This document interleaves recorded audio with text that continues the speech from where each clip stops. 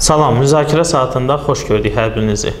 Sizinlə mən Elçin Rəhimzadə və verilişimizin bugünkü qonağı Ağ Partiyanın başqanı Tural Abbaslıdır. Tural bəylə ölkə gündəmini müzakirə edəcəyik. Tural bəy, xoş gəlmisiniz. Təşəkkür edirəm dəvət üçün. E, Tural bəy, başlayaq e, gündəmi e, gündəmin ən əsas mövzularından biri şəhid ailələrinə verilməli olan e, qan pulu məsələsi ilə bağlı. E, Sizcə e, necə düşünürsüz? E, Prezidentin fərmanı niyə görə yerinə yetirilmir? Bu məmur öz başınalığıdırmı, yoxsa dövlətin bunu verməyə imkanı yoxdur? Bilirsiniz, e, əvvəla onu qeyd eləyək ki, şəhid ailələri məsələsi çox həssas məsələdir. Çünki bu günə qədər dövlət varsa, azadlıq varsa, müstəqillik varsa, ümumiyyətlə e, üç rəngli bayraq varsa, o şəhidlərin qanı üzərində qurulub, o şəhidlərin qanı hesabına qurulub. Yəni odur ki, şəhid ailələri məsələsi ən ümdə və həssas yanaşılmalı olan məsələdir. Yəni bu məsələyə texniki yanaşmaq olmaz ki, burada bürokratik əngəllər var, falan var, filan var. E, ölkə başçısı sənəd imzalayıb və sığorta pulu kimi 11 min manat miqdarında bir dəfəlik müavinət ödənməlidir və bu müavinətin ödənişlərində belə deyək, prosedurlarında bir çox şəhid ailələri kənarda qalır, narazılıq yaranır. Yəni burada iki sual ortaya çıxır. Bu vəsait büdcədə yox idisə, bunu niyə e, prezident imzalayırdı? Və yaxud da bu vəsait varsa və bu şəhid ailələrinin sayı əvvəlcədən müəyyən olunubsa, niyə bu süründürməçilik davam elətdirilir? Burada birisi mən düşünürəm ki, hakimiyyətdəkilərin iş bilməməzliyinin e, nəticəsidir. Mən inanmıram ki, şəhid ailələrinə ödəniləsi pul Azərbaycan üçün bu qədər böyük bir məbləğ olsun. Nəzərə alsaq ki, neftin qiyməti e, nəzərdə tutduğun, tutulduğundan hardasa 2 dəfəyə yaxın bahalaşıb və ə, Azərbaycana ə, valyuta daxil olur. Büdcəmizdə kifayət qədər ə, prezidentin əlavə ehtiyat fondu var. Kifayət qədər vəsait var. Sadəcə olaraq bəzi məmurlar şəhid ailəsi statusunu anlamırlar, başa düşmürlər. Elə bilirlər ki, bu da adi bir kateqoriyada adi bir e, nüansdır. Yəni mən düşünürəm ki, özbaşınalığın, sayğısızlığın, saymamazlığın nəticəsidir və bu ağır nəticələri ola bilər. Nəzərə alaq ki, biz dövlət olaraq hələ də müharibə şəraitindəyik və bugünkü şəhid ailələrinin vəziyyətini görən hansı ailə öz oğlunu, yoldaşını, qardaşını müharibəyə göndərəcək? Heç biri. Odur ki, bu çox həssas məsələdir və mən çox şiddətlə qınayıram bu məsələdə e, süründürməçilik eləyənləri, bu məsələdə şəhid ailələrinə əziyyət verənləri, həm də 11 min manat nə məbləğdir ki?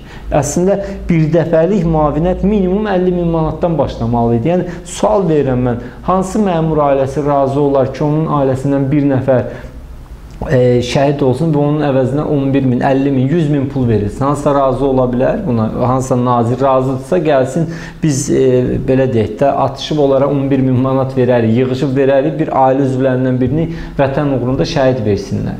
Yəni bu süründürməçilik aradan qaldırılmalıdır. Nə bilim bəhanə gətirirlər, güya siz nə vaxtsa ə, ə, belə deyək, o vaxtki pulla 50 min manat, yəni 5 şirvan güya sığorta pulu almısınız və kim o pulu alıbsa bu gün 11 min manat ona düşmür. Kimi belə əcaib bir axmaq bir e, bəhanə uydururlar. Yəni bir mənalı olaraq vətən uğrunda şəhid olan hər bir ailəyə bu müavinət verilməlidir. Heç bir süründürməçilik, ayrı seçkilik salınmamalıdır və hətta aylıq ödənilən müavinətlər mən e, təklif eləyərəm ki, ən az 4 dəfə qaldırılsın. Yenə deyirəm, ailədən kimisə itirmək və bu vətən sona qədər o ailələrə, o şəhidlərə borcludur. Yəni biz onların hesabına varıq. Növbəti Qarabağ mitinqinə icazə verilmədi. E, və əsas kimi o gətirildi ki, prezident həm daxildə, həm xaricdə bu məsələ ilə bağlı kifayət qədər addımlar iş atır, iş görür. E, necə düşünürsüz? Əsl səbəb bu idimi?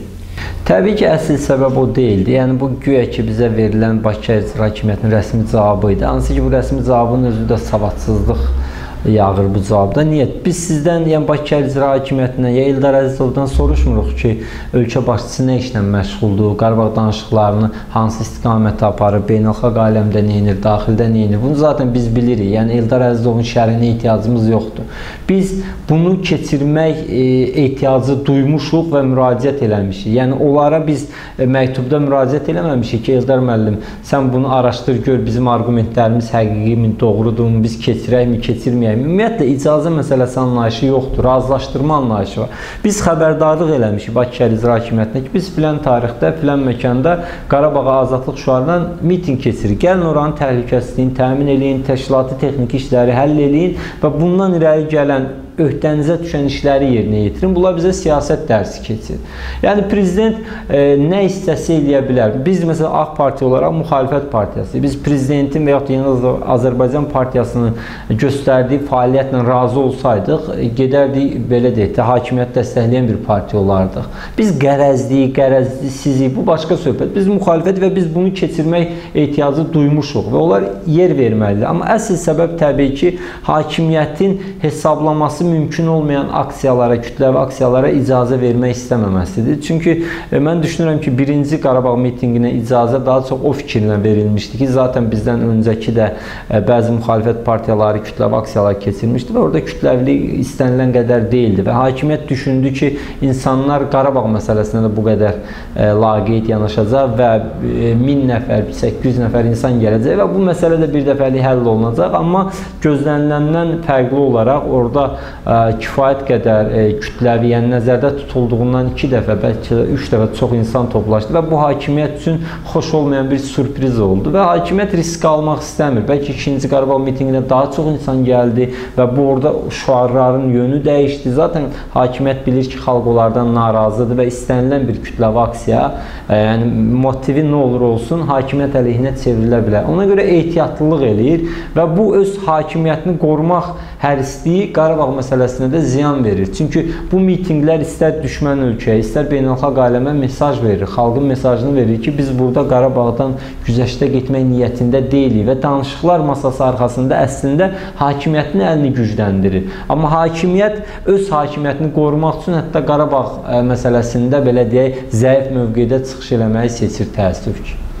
E, bütün partiyaların bu mitinqə bir mənalı olaraq hamılıqla gəlməməyinin səbəbini siz nədə görürsünüz? Axı bu ümumxalq mitinqidir. Təbii elədir, bəy. Bilirsiniz, biz birinci mitinqin təşkilatçılığında da, ikinci mitinqin təşkilatçılığında da bir mənalı olaraq, yəni hətta Yeni Azərbaycan Partiyası daxil olmaqla bütün partiyalara Qarabağ Komitəsi adından məktub ünvanladıq. Hətta birinci Qarabağ mitinqin təşkilatı ərəfəsində nümayəndələr həmin partiyaların rəhbərlərindən, nümayəndələrindən görüşlər də keçirdi, dəvət də elədi. Hətta belə deyək, qarantiyalar da verildi ki, burada heç bir siyasi məqsəd məqsəd yoxdur. Yəni hansı e, pozisyonda istəyirsinizsə gəlin çıxış eləyin. Siz tribunada təmsil olunun, istəyirsiniz e, komitədə hansı vəzifədə istəyirsiniz orada təmsil olun. Yəni burada heç bir siyasi motiv yoxdur. Sırf Qarabağ məsələsidir. Təəssüf ki, e, 25 il müxalifətdə qalmaq e, belə deyək səbəbindən e, müxalifət partiyaları daha çox öz aralarında vuruşmanı seçirlər, nəinki ümumilli məsələlər. Yəni burada da ola bilsin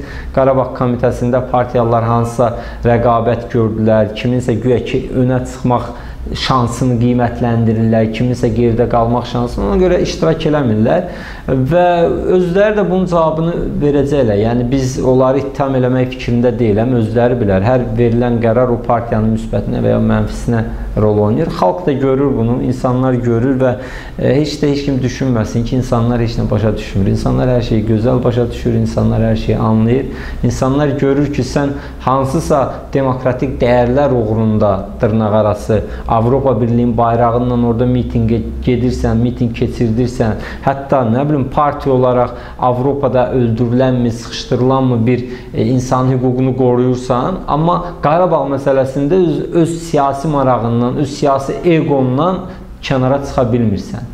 Yəni odur ki, insanlar bunu görür və qiymətləndirir. Necə olur ki, sən bir Fransa səfirliyinin, Amerika səfirliyinin hansısa işçisinin dəvəti ilə onun evinə gedirsən və yaxud da səfirliyinə gedirsən, orada üstü başında yoxlayırlar, açarları, telefonları da Allah qoy. Sən onu qürurva sığışdırırsan, nədir, nədir səfirlə və ya səfirin köməkçisi ilə görüşəcəksən, amma xalqın ayağına getməyi özünə əsiklik bilirsən, özü də Qarabağ məsələsində.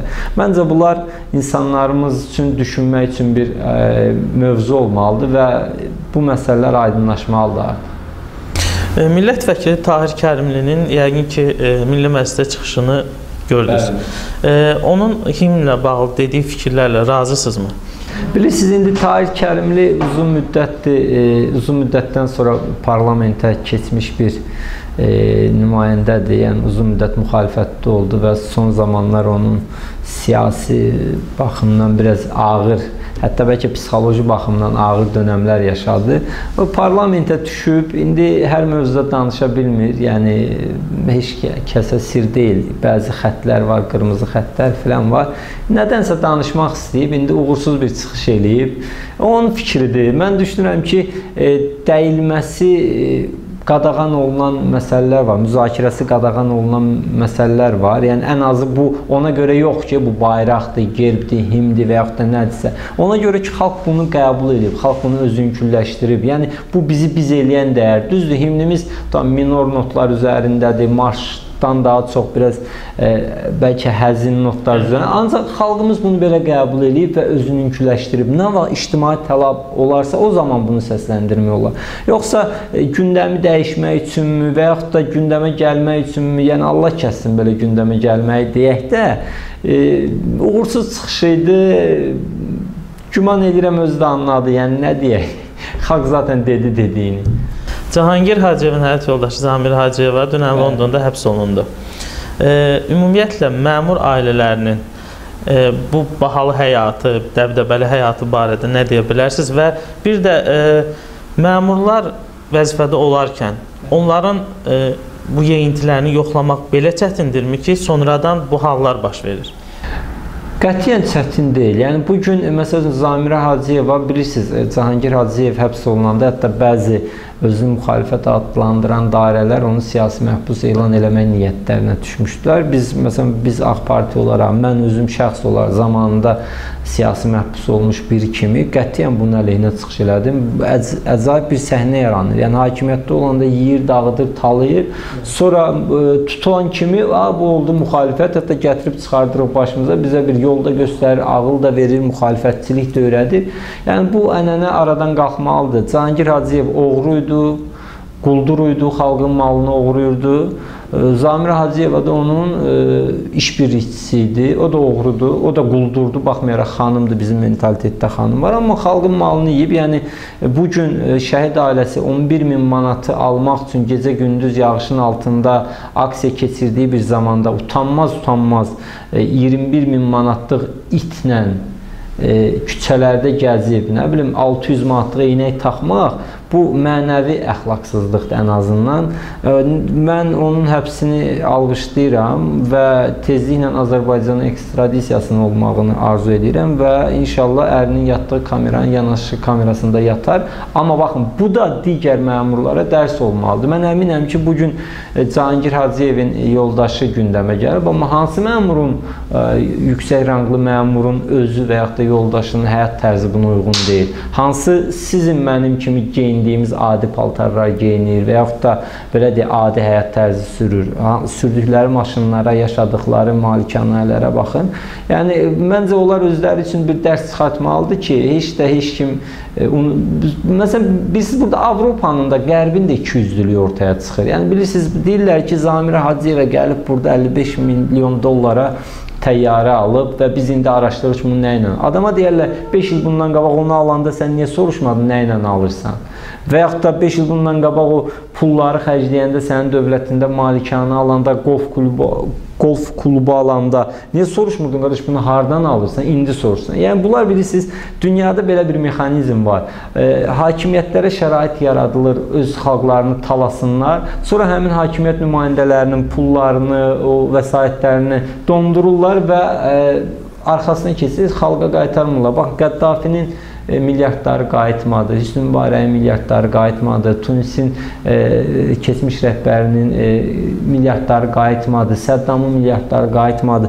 Yəni bilirsiniz bu xalqdan oğurlanır. Zamirə Hacıyevanı tutdular, hə lap yaxşı, getdi türmədə yatdı. Bəs onun oğurladığı, xalqdan oğurladığı milyonları kimə qaytaracaqlar? O təyyarələr, o aldığı qızıl əşyalar və ya o malikanələr kimə qalacaq? Yəni bu məsələləri düşünmək lazımdır. Heç olmasa bu oğrular milli oğru olsaydılar öz dövlətimizdə aldı da bu malikanə isə o tutanda xalqa qalsın. Yəni bu bilirsiniz heç kimə sir deyil. Bu mən yenə qeyd edirəm. Bu gün hakimiyyətdə olanların bəlkə də 90%-i o eyni həyat tərzi keçirdirlər və ziyanını da xalq olaraq bizlər çəkirik. E, müsahibələrinizin birində demisiniz ki, AK Parti olaraq respublikada keçirilən bütün seçkilərdə iştirakın tərəfdarısınız. E, politoloqlar belə düşünür ki, yaxın vaxtlarda növbədən kənar parlament seçkiləri gözlənilir. Sizcə bu baş verə bilərmi və baş verəcəksə hansı zərurətdən irəli gələrək? Biz növbədən kənar e, seçkilərdə iştirak ilə bağlı əvvəl onu qeyd edim ki, hakimiyyətə gəlməyin iki yolu var. Bir, seçki yolu, iki, inqilab. İnqilab da iki yerə bölünür. Dinc inqilab, silahlı inqilab. Yəni biz silahlı inqilab eləmək niyyətində deyilik. Yəni silahlı müxalifətin tərəfdarı olmamışıq deyilik də. E, dinc inqilab üçün cəmiyyətdə vəziyyət yetişməyib. İnsanlar hələ e, bu dinc inqilabın e, belə deyək də lazım olan zəmin yoxdur. Qalır seçki yolu. Biz bu seçki yolundan da imtina edib nə əldə etmək istəyirik? Yəni o məşhur lətifədə olduğu kimi bir lotereya almaq lazımdır da. Yəni və yaxud da eyni məntiqlə 90-cı ildə parlament parlamentdə e, Demblok 25 nəfərdən ibarət e, bir deputatlar var idi ki, hansı ki, onlar da həmin hətta Sovet qanunlarıyla seçilmişdi. Sovet seçkiləri ilə, amma sonradan onların fəaliyyəti nəticəsində Azərbaycan müstəqilliyini qazandı. Yəni biz seçkilərdə bir mənalı olaraq iştirakın tərəfdarıyıq. Hətta seçki saxtalaşdırılsa belə sən orada iştirak eləyə onu daha rahat ifşa eləyə bilərsən. Sən namizəd ola ola daha böyük bir tribun əldə edirsən, istər daxili auditoriya, istər beynəlxalq auditoriyaya ki, saxtakarlığı bəyan eləyəsən. Amma mən seçkidə iştirak eləməmişəm. Seçkidə saxtaydı. Adama deyirlər, hardan bilirsən? verdin namizədliyi. Odur ki, biz seçkilərdə iştirakın tərəfdarıyıq.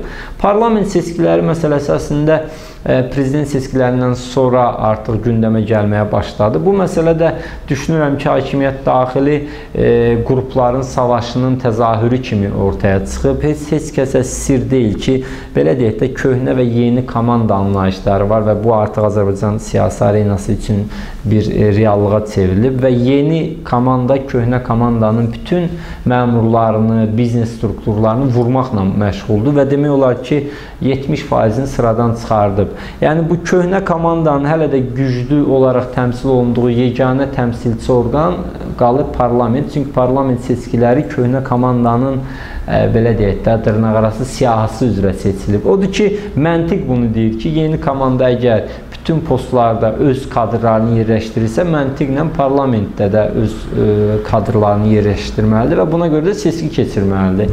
Seçki keçirəcəksə də mən düşünürəm ki, müxalifət bu məqamdan istifadə edib orada iştirak eləməlidir və maksimum orada təmsilçiliklə təmin olmalıdır. Çünki bu gün baxın, parlamentdə heç bir nəfər belə olsun müxalifətçi yoxdur. Yəni düz özlərinin müxalifət deyil, amma mövqeləri o deyil.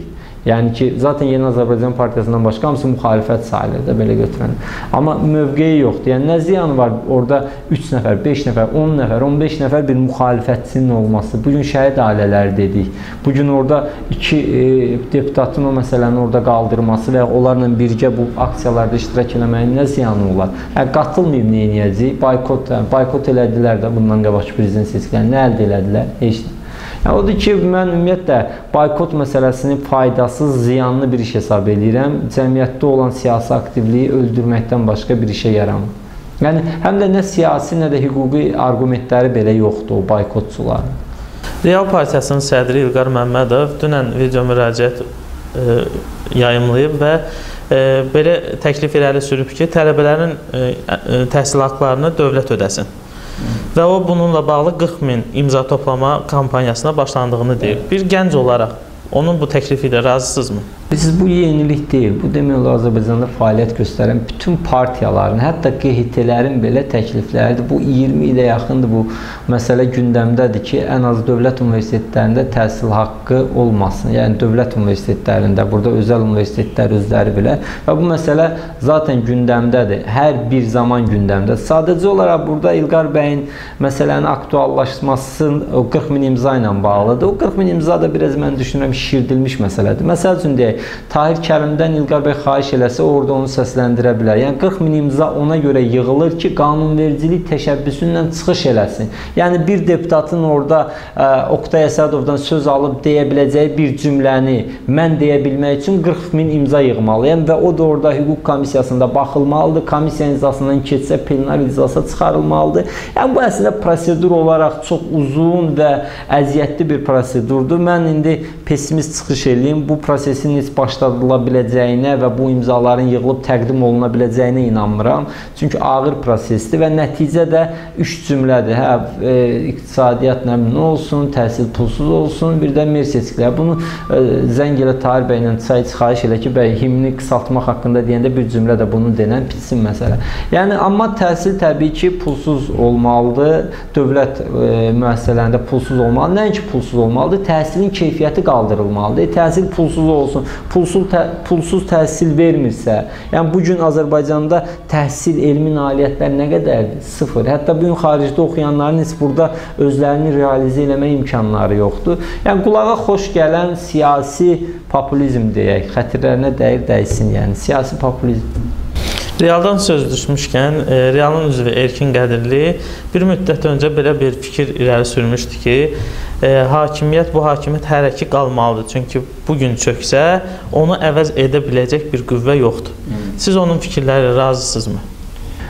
Bu bilirsiniz Erkin bəy mən yaxşı nəzəriyyatçı kimi çoxdan tanıyıram, hüquqşünas kimi, amma onun praktik siyasətlə məşğul olduğunu görməmişəm. Bir dəfə namizəd olmuşdu, çıxışını bəyənməmişdim. Bir dəfə də mitinqdə çıxışını eşitmişəm, onu da bəyənməmişdim sözün düzü. Yəni partiya fəaliyyəti olmayıb, heç bir təşkilatda, yəni belə deyək də siyasi təşkilatda fəaliyyət gözü nəzəriyyətçi kimi bəlkə də dediyini əsaslandırmağa çalışar. Amma belə bir sual ortaya çıxır. Yaxşı, bugünkü siyasi müxalifətin siyasi təcrübəsi yoxdur dövlət idarə eləməyə.